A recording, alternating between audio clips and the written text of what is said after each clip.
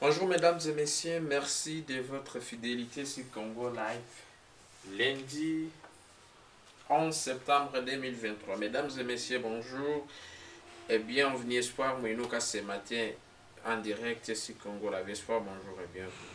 Bonjour, euh, monsieur les journalistes, bonjour à nos téléspectateurs, bonjour à tous ceux-là qui se battent pour que le Congo puisse recouvrir sa souveraineté nationale et internationale. Vous allez bien? Oui, ça va, nous euh, rendons gloire à l'éternel. C'est quoi les nouvelles ce matin à Goma? À Goma, c'est toujours un peu calme, sauf euh, quelques bruits de bottes, comme vous le savez toujours. Partout là où il y a la société, il y a toujours des phénomènes adéquats à la société. Euh, Tu as encore à une nouvelle journée ville morte à Goma Ouais, tous nous sommes, euh, nous l'avions appris qu'il y aurait une journée ville morte préparée. Donc jusque-là, nous, nous ne savons pas encore les, le- les initiateurs de cette journée ville morte. C'est que je crois qu'il y a beaucoup de, des organisations de la société civile, mais dans, ces, ce- ces organisations sont regroupées dans des collectifs euh, et autres structures. Nous sommes en pleine communication avec toutes les structures de la jeunesse de la ville de Goma pour savoir qui sont les organisateurs, qu'est-ce qu'on peut porter comme un plus, est-ce qu'il faut qu'il y ait, puisque il y a beaucoup des actions prévues contre la MONISCO, il y a beaucoup d'actions prévues contre les AC, et nous on voulait que toutes les activités puissent être euh, euh, menées euh, au sein du collectif ou bien dans une dynamique où tous nous allons participer. Mais vous faites partie des Wazalendo. Exactement. Alors, c'est ce de Wazalendo qui a appelé à une nouvelle journée ville morte parce que nous apprenons qu'il y a une nouvelle mobilisation contre la MONUSCO à Goma.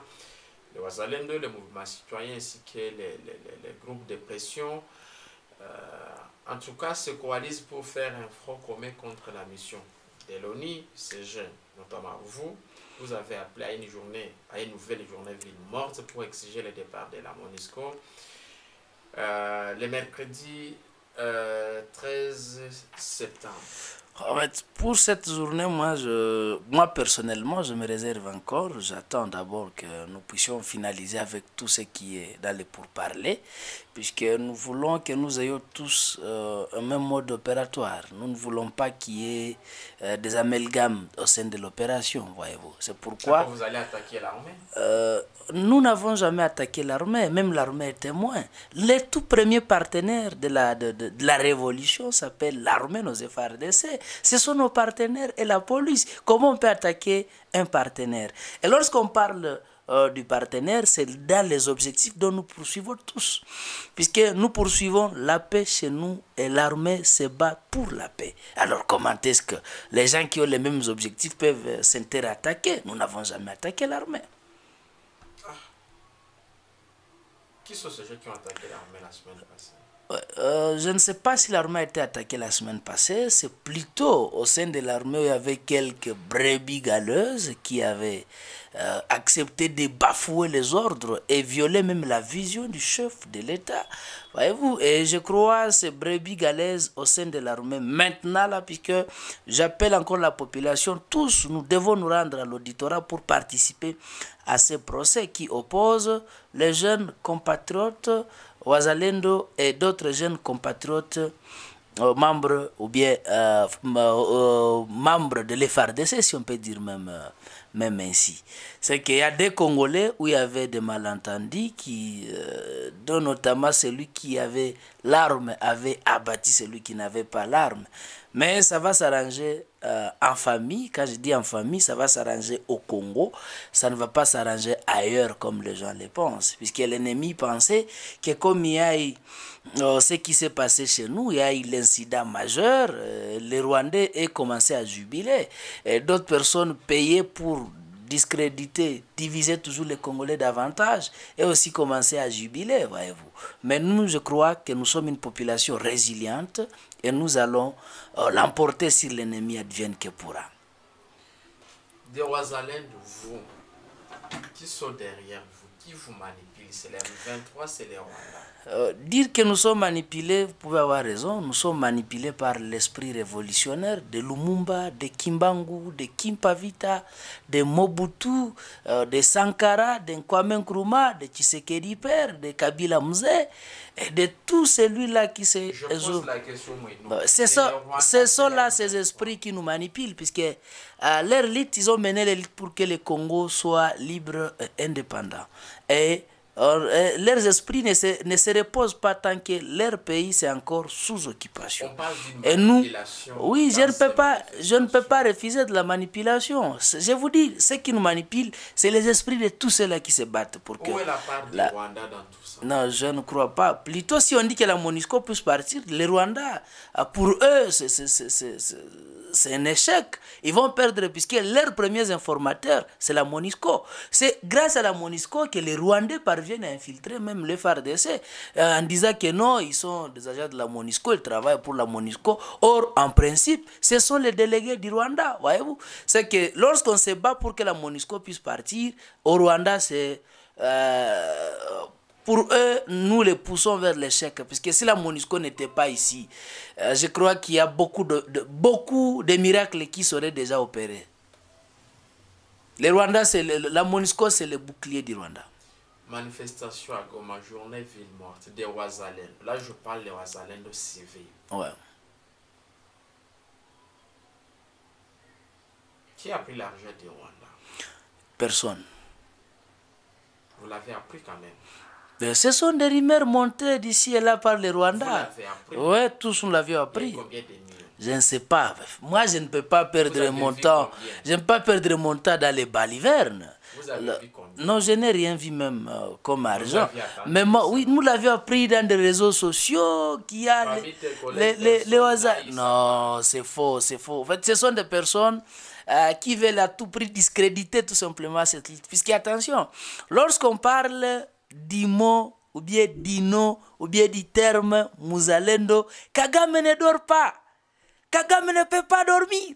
Et ces personnes, ils ne peuvent pas.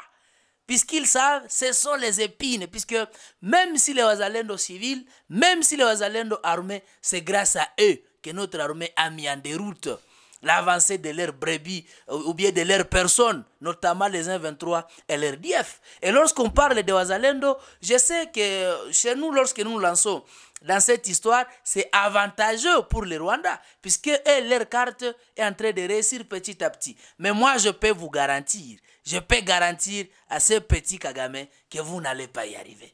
Vous allez monter vos personnes pour discréditer cette noble élite, mais nous, nous allons nous battre contre vents et afin de vous mettre en déroute. D'accord.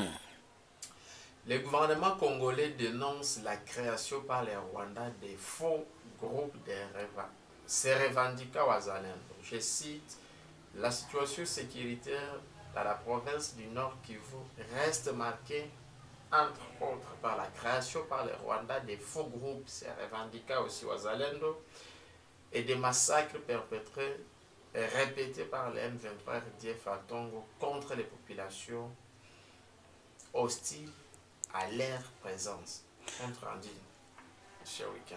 Moi, je crois qu'il euh, il peut, il peut avoir raison puisque nous l'avions appris qu'il y a dans les Rutshuru, il y a un groupe armé monté par les 1-23 et ce groupe armé, euh, il s'appellerait aussi euh, Wazalendo. Les groupes armés dans Euh, notre groupe armé. Exactement, non. Les, les 1-23, ce n'est pas un groupe armé, c'est un mouvement terroriste. Ah. C'est l'armée rwandaise, voyez-vous C'est l'armée rwandaise. Il n'y a rien de- de- de- d'un groupe armé. Et il y avait les groupes armés, euh, les Mai Mai Mazembe, les, les, les autres. C'était là des groupes armés congolais. Mais les 1-23, c'est l'armée rwandaise qui est venue nous attaquer euh, à ciel ouvert. Et ils se nomment le- le- les 1-23 en principe.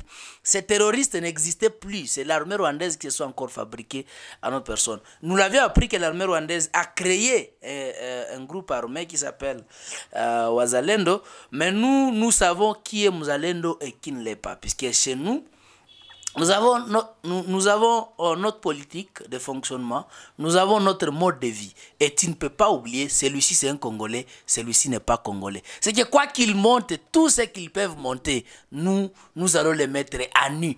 Mais le gouvernement aussi, euh, quelquefois, on ne doit pas seulement s'éterniser, euh, d'accuser, accuser, accuser. Nous devons prendre des mesures.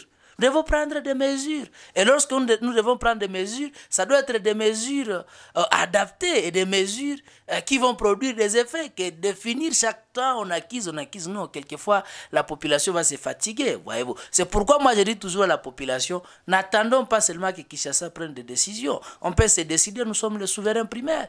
Et comme nous sommes les souverains primaires, on peut se, se- se- se cotiser tous, on se mobilise tous. Et vous allez voir comment peut-être qu'on va mettre l'ennemi à l'extérieur. Qu'on nous laisse combattre, la guerre va finir. Vous qui? Nous, la population, Avec quoi? Avec les moyens de bord. Ça veut dire, Non, ça veut dire tout ce qui peut nous aider à mettre l'ennemi à l'extérieur. entre autres, Non, nous avons nos malaxeurs dans nos cuisines. Nous avons. Moi, je ne parle d'abord que nos malaxeurs dans nos cuisines. de malaxer pour chasser quelqu'un qui a une. Mais c'est tout à fait normal. C'est tout à fait Ce normal. malaxer que vous avez utilisé apparemment en. Nous sommes- la L'armée n'a jamais été attaquée. Ça, il faut, il faut, il faut éviter ça. L'armée, Je comprends votre revendication. l'armée n'a jamais été attaquée. Parce Et qu'on a vu même si les images de lances, de malaxeurs, comme vous l'avez dit, c'est ce que vous, vous, vous appelez arme pour chasser les M23. euh, vous savez, nous, on dit toujours à l'armée. En fait, la politique aussi a ses caprices souvent moi je déteste. C'est pourquoi je n'ai jamais euh, adopté qu'il soit un politicien ou bien accepté d'être un politicien. Parce que si euh, nos politiciens étaient des personnes sincères et des personnes vouées pour la cause nationale, on ne devrait plus parler de ces quatre voyous rwandais ici euh, à Rutshuru. Non, on devrait déjà en finir, voyez-vous. Mais comme nous avons des petits politicards dans chaque chose ils veulent y mixer la mauvaise politique, si l'armée se détermine pour avancer, c'est eux qui commencent toujours à dire Oh, nous sommes sous les cessez-le-feu, on doit respecter les cessez-le-feu, puisqu'on a compris. Cette guerre aussi, c'est devenu du business pour certains politiciens. Pour eux, ils gagnent trop d'argent, puisque c'est eux qui partent dans les dialogues, c'est eux qui assurent la logistique de l'armée, c'est eux. Je ne connais personne, mais si personne y était, on devrait déjà en finir avec s'ils ne gagnaient pas quelque chose dans cette guerre. Vous avez des preuves? Et même en, en dispose. Ce n'est pas à moi de prouver des preuves. Et même en dispose. Mais si ce n'était pas du business, mais on devrait déjà en finir. Quand vous voyez une chose persister, posez-vous la question, est-ce que les politiciens ne gagnent pas dans ça? Les politiciens gagnent dedans. S'ils ne gagnaient pas dedans, mais ils devraient soutenir l'armée mettre à l'extérieur l'ennemi. Mais quand les politiciens gagnent, c'est-à-dire c'est le peuple. C'est pas les les pe- Non, il y a, il y a des, po- des, des politiciens avéreux. Comme, Ils, ils se connaissent entre eux. Mais vous, vous les Ils se connaissent entre eux. Vous les connaissez aussi. Même si je les connaissais. Je ne vais pas plébisciter quelqu'un. Non, je ne vais pas les faire. c'est ton droit de parler. Hein? Oui, c'est mon droit, mais je ne vais pas euh, plébisciter quelqu'un. Je- e-. Exactement, mais je ne vais pas faire la, publicité de telle ou telle autre personne. Moi, je crois, nous avons la chance de sanctionner tous ces politiciens Vous avez malveillants. quand même confiance à nos ministres, à certains. Nos ministres. Nos ministres. Est-ce que nous avons d'ailleurs les ministres Est-ce que nous avons des ministres? Il faut qu'on se le dise. Il faut qu'on se dise la vérité. Nous avons 4 à 60 personnes qui acceptent de s'emparer avec la, avec la richesse de la, de, la- République. Nous avons 5 à 60 personnes qui acceptent, ils bouffent l'argent du pays. Et puis on applaudit que ce sont des ministres. Mais imaginez comment un pays où nous avons les pieds dans l'eau, mais nous n'avons pas l'eau. Imaginez un pays où à Mobutu, nos, nos- nos grands-pères dansaient pour lui puisqu'il y avait du courant. Donc quand vous dites ça, vous accusez indirectement le président Tshisekedi alors. Non, je, vous savez, dit, c'est parmi les personnes qui rêvent un Congo nouveau. Mais notre vision, la vision du chef de l'État, c'est la même vision. Ouais. L'Allemagne d'Afrique, on devrait y arriver, mais malheureusement, il n'a pas eu les bonnes personnes avec qui travailler.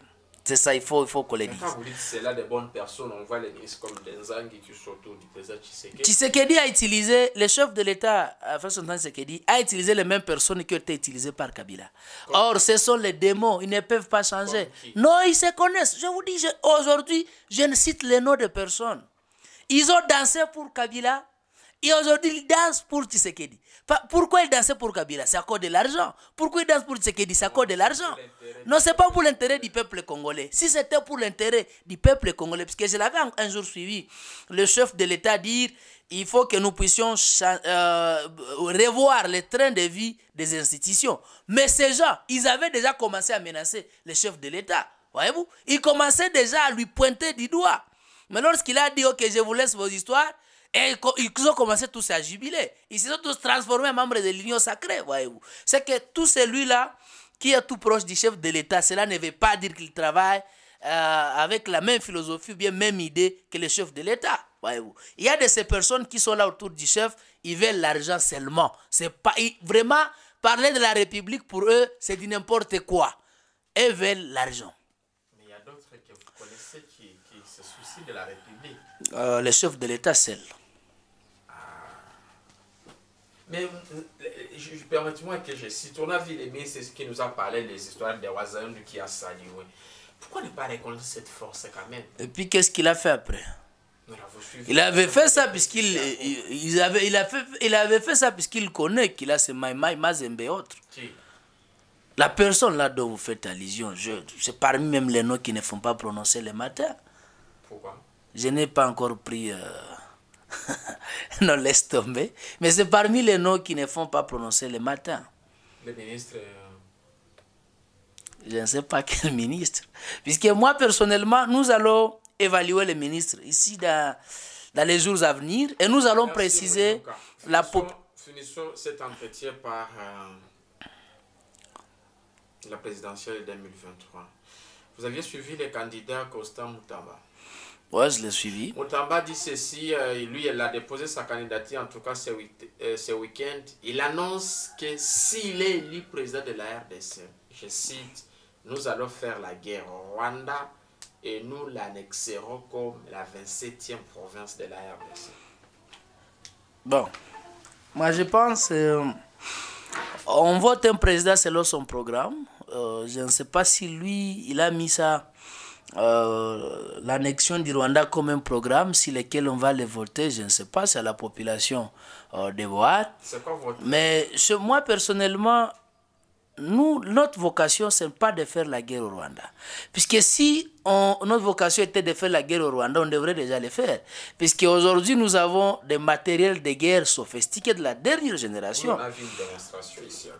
De la dernière génération, c'est que si on voulait, on pouvait faire la guerre au Rwanda et la- et- et l'annexer au, au Congo. Mais chez nous, notre, euh, je crois que la population congolaise, nous n'avons pas besoin de faire la guerre à qui que ce soit pour que nous soyons euh, la- la- la- Un pays fort. un, un- un- un pays, un, un pays fort ou bien la nation puissante de la région des Grands Lacs. Non. Nous autres, nous voulons que tous les voisins puissent vivre en harmonie, puisque notre philosophie, c'est la cohabitation euh, pacifique, c'est voir pacifier cette région des Grands Lacs, afin que la région des Grands Lacs puisse concurrencer d'autres régions du monde, voyez-vous. Nous voulons même concurrencer l'espace Schengen, et nous allons y arriver lorsque la RDC va recouvrir la paix. Mais moi, je pense que le chef de l'État, Félix Antoine Tshisekedi, il est dans la bonne voie pour mettre fin à l'insécurité de la région des Grands Lacs. Et Donc pour vous, Moutamba, c'est déjà un mauvais départ. non, c'est un discours, c'est un discours populiste. C'est un discours populiste. Parce qu'il sait ce que les Congolais veulent. Euh, Non, puisque vous savez, le sérieux problème, c'est l'amateurisme qui gangrène encore la société congolaise. Mais c'est là qui commence déjà à réfléchir. Je ne sais pas si on peut encore voter quelqu'un à cause des puisque si on votait quelqu'un à cause des discours, je crois que la RDC devrait être l'Eldorado euh, l'Eldorado quand même. Nous avions voté Kabila en 2006 à cause des discours. Nous avions voté euh, il s'est nommé en 2011 et pardonné par la population à cause de son discours. En 2018, il y a eu Tshisekedi qui avait un bon discours avec Kamere. C'est que les deux discours, si réellement ils avaient affaire on pouvait mixer les deux ensemble et on change la RDC. Vous Ouais, avez suivi Kamel, il était à Bukavu. ouais, pff, bon, c'est parmi les vieux loups, Il ça. a, il a offert même une église. Ça, c'est pour l'intérêt de- de- de- du Vatican, c'est pour l'intérêt de l'Église catholique. Ma grand-mère gagne quoi dedans? Mon père gagne quoi dedans? Est-ce que c'est est-ce que c'est une école qu'il a construite? Il fallait construire une école pour les enfants de Walungu. Là où mon, mon, mon enfant peut étudier, l'enfant de tel, de tel, il peut étudier à cette école. Mais lorsque vous construisez, vous construisez une église pour telle ou telle autre confession, mais vous avez construit pour l'intérêt de leur curé, pour l'intérêt de leur pape, pour, Dieu. N'a pas besoin de maison ou, quoi, ou, ou- ou- autre chose. Dieu a besoin des cœurs de personnes. Et je crois, si moi j'étais même euh, le Vatican, je ne devrais même pas accepter cette église puisque euh, c'est construite, c'est construite euh, avec l'argent qu'il avait pris dans notre, dans notre trésor public. Je crois qu'il a volé les Congolais pour enrichir le Vatican. Et chez moi, c'est non événement. Mais Dieu l'a pardonné déjà. Dieu ne marche plus dans la rue, il ne se mouve plus sur, euh, sur les eaux. Euh, Dieu marche à travers les personnes. Et lorsque moi, personne, je pas pardonné, je ne vois pas qui est ce Dieu qui l'a pardonné. Et pourquoi tu dois pardonner quand même pour quel péché? Pour quel péché? Vous savez, Caméré, c'est parmi les tout premiers politiciens de la RDC. Il, il figure sur la liste. Et leur politique a été une politique de s'enrichir et d'appauvrir le Congo.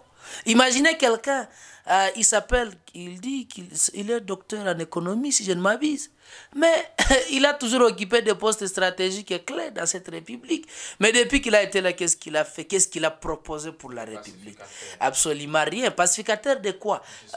Il a pacifié quoi Et d'ailleurs, je ne sais pas comment est-ce que son nom n'est pas repris dans les rapports Mapping. Il fallait que son nom soit repris sur à toutes les pages. Puisqu'il a, il a facilité euh, l'RCD, il a facilité CNDP, il a facilité je ne sais pas quoi. Il a, il jamais fait la rébellion quand même. ça, c'est sûr et certain. Mais attention, Il n'a jamais tué, il a des ça c'est sûr. Il n'a jamais tué avec une arme bien, une machette, mais il a tué avec sa mauvaise politique. Et ça, il faut qu'on le dise. Puisque voir l'argent que notre communauté a contribué pour lui, afin qu'il puisse étudier, mais voilà sa province. Bitakwira l'a bien séduit, c'est la toilette. Une province qui n'avance même pas. Mais nous avons des politiciens, des politiciens. Et Dieu aida, on nous a maintenant donné un grand voleur à la tête de la province, M. Ngwabidja. Mon Dieu, nous avons des personnes. Mais attendons voir, chaque chose a son temps. Caméré, sa politique est finie. Et on attend voir les autres. On va voir d'autres vieux Maradona. Euh, L'homme ici, les grands tourneurs aussi. Ah, Monsieur Lukwebo. Ah, mon Dieu, nous avons des politiciens. En fait, moi, je pense, euh, chers compatriotes, surtout nos téléspectateurs, de partout là où vous êtes, vous devez comprendre qu'il est grand temps que nous puissions changer. Ces élections Merci. 2023, Merci. nous devons faire euh, le vote sanction. Nous devons sanctionner. On y reviendra prochainement? On a largement dépassé le minute. Mesdames et messieurs, merci de nous avoir regardé sur Congo Live Télévision. J'espère qu'on se quitte par votre coordonnée. Nous sommes sur le plus 243 9 92 66 42 08. Mesdames et messieurs, merci de nous avoir regardé. Bonjour à tous et à toutes. Bye.